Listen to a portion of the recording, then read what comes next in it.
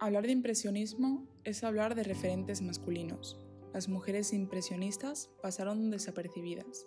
Aquí mostramos a la gran mayoría, que o bien se identificaron con el movimiento o se inspiraron en él. Marie Bracmont, pintora, grabadora y ceramista francesa. Se formó en el dibujo académico y aunque en aquella época se le recomendaba a las mujeres pintar la naturaleza, Bracmont pintó todo lo que le transmitía sentimientos. Conoció a los impresionistas y el propio Monet fue quien la animó a acercarse al impresionismo y a las pinceladas libres. Expuso en la cuarta exposición impresionista en el año 1879 y a partir de ahí cambió su técnica y se aproximó más al impresionismo. Berthe Morisot, pintora francesa que desarrolló una carrera artística profesional de más de tres décadas. Expuso desde los 23 años en el Salón de París y se convirtió en la primera mujer en exponer con el grupo impresionista retrataba su entorno tal y como ella lo veía, mujeres, niños y escenas domésticas. Fue reconocida como la dama de la pintura por romper con la tradición. Marie Cassatt, pintora y grabadora estadounidense, se incorporó al movimiento impresionista gracias a su amistad con Edgar Degas. Pintó principalmente imágenes de la vida social y privada de las mujeres. Comenzó a estudiar pintura a los 15 años, impaciente por el ritmo del aprendizaje, decidió estudiar por su cuenta. Según el crítico de arte Gustave Geffroy, estas tres mujeres son las tres damas del impresionismo. Lila Cabot Perry, artista estadounidense que trabajó con retratos y paisajes. Su mentor fue Monet, quien la enseñó a captar el estilo impresionista. Su peculiar uso de la luz y del color es un resultado de la simbiosis de influencias del impresionismo, realismo y simbolismo. En 1908, Seis de sus pinturas se expusieron en el Salón de los Independientes. Sarah Purser realizó retratos y fue reconocida por sus vitrales. Comenzó a pintar a los 13 años, se convirtió en pintora profesional y fue muy activa en el mundo del arte de Dublín. Tuvo mucho éxito como retratista en la aristocracia británica. Eva González, pintora francesa.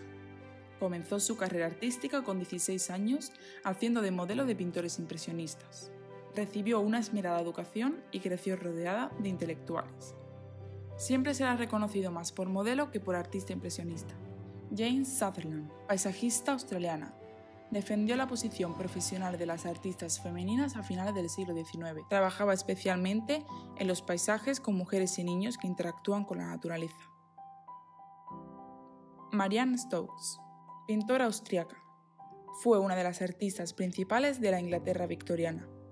Pintó con esmero retratos mostrando los detalles de los ropajes. Mildred Annette Butler, artista irlandesa que trabajó en acuarela y óleo sobre paisajes, personas y animales. Refleja escenas de la vida doméstica. Expuso en las principales galerías de Irlanda e Inglaterra.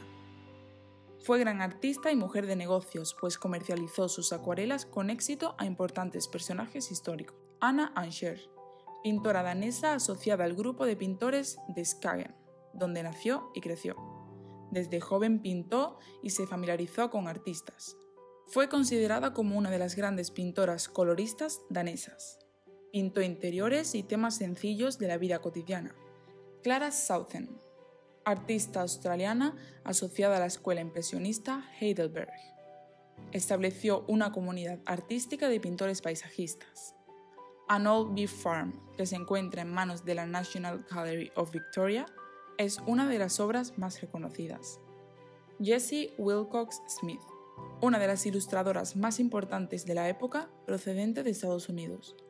Llevó su influencia impresionista francesa en cuanto al uso del color a las portadas, revistas, libros, anuncios. Se volvió el artista con la mayor cantidad de cubiertas ilustradas con todas las de Good Housekeeping. Camille Claudel es una escultora, pero sus obras tenían un naturalismo con rasgos impresionistas. Claudel bebió de la influencia del grabado japonés del impresionismo y lo quiso tratar en algunas de sus esculturas como la ola. Trabajó estrechamente con Rodin.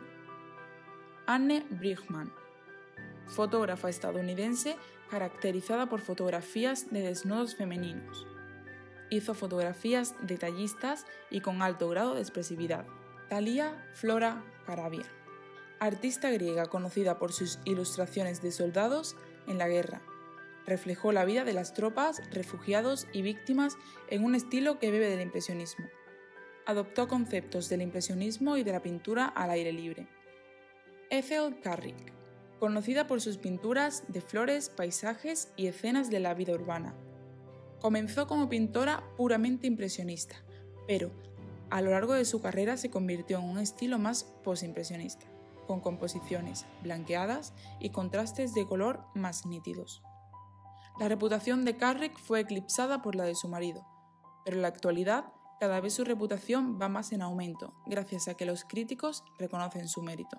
Naceda Petrovic, considerada la pintora serbia más importante de finales del siglo XIX, fue la impresionista y fobista más conocida de Serbia, sus obras están dominadas por las grandes superficies y sus colores favoritos fueron el rojo cálido y el verde. Laura Knig, pintora británica. Pintó paisajes, teatros, ballet y el circo. Durante la guerra hizo el cartel de reclutamiento para el ejército de tierra de mujeres. Retrató a mujeres en su día a día en las fábricas y haciendo tareas en el ejército. Después volvió a sus temas de teatros, gitanos y ballet.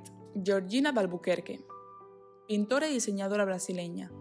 Comenzó desde pequeña sus estudios de pintura y alcanzó un gran uso de las leyes de la perspectiva y el color. Perteneció a la Escuela de Bellas Artes y participó en varias exposiciones. Los temas más constantes son el retrato y los paisajes. Nina Arbor, pintora e ilustradora rumana, conocida por sus naturalezas muertas. Completó sus estudios y se mudó a París para trabajar en el estudio de Henri Matisse. Además de lienzos, proporciona decoración para iglesias.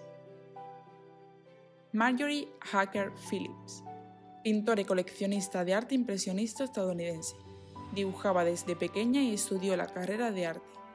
Pintó principalmente bodegones y paisajes. En Francia se interesó por el impresionismo, encontrando inspiración en Renoir y Cézanne. Colette Pope Heltner, pintora estadounidense que logró forjar su propio estilo, Pintó sobre todo los barrios franceses con un toque impresionista. Sus pinceladas sueltas y colores variados eran un símbolo de identidad. Micaela Eleucheriad. Pintora rumana que estudió en la Escuela de Bellas Artes con grandes artistas de la época. Pintó paisajes, ciudades, retratos y naturalezas muertas. Medi Weslerdinu. Pintora rumana.